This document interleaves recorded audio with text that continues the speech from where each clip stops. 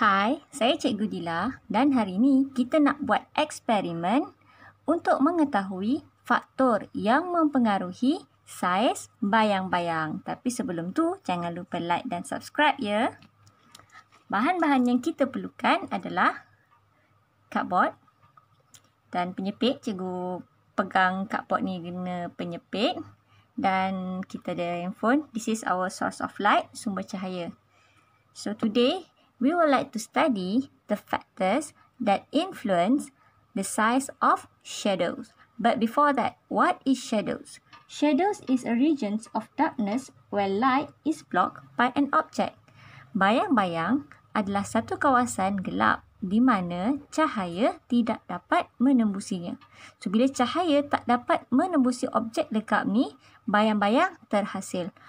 Objek Translucent pun sama juga, dia boleh menghasilkan bayang-bayang tapi bayang-bayang dia tak segelap objek legap. Okey. So kita mulakan eksperimen.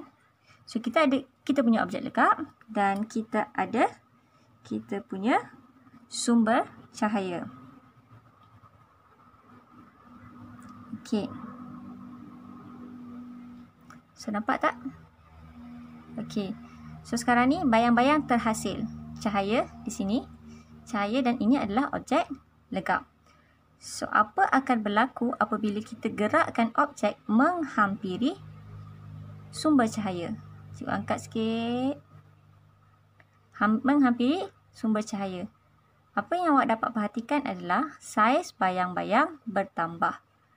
So, when I'm moving this object closer to the source of light, we can observe that the size of shadows increase.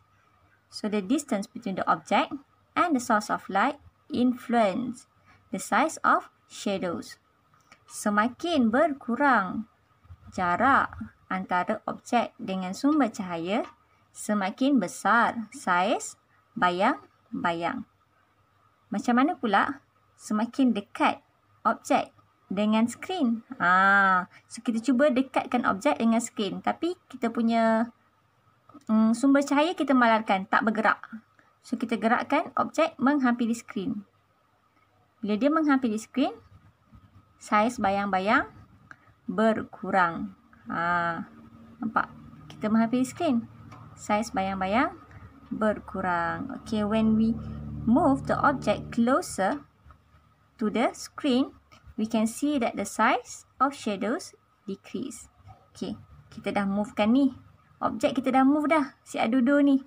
Move ke atas, closer to the source of light. Move to the screen, closer to the screen. So you can see the different size of the shadows. But then, how if the source of light that the one that I'm moving? So cikgu gerakkan sumber cahaya pula. Objek tak bergerak, screen tak bergerak.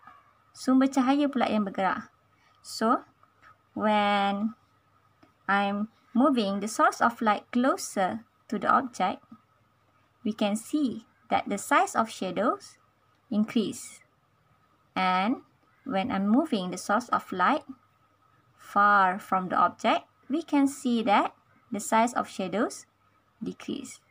Apabila cikgu gerakkan sumber cahaya menghampiri objek, saiz bayang-bayang bertambah dan apabila Cikgu gerakkan sumber cahaya menjauhi objek saiz bayang-bayang berkurang.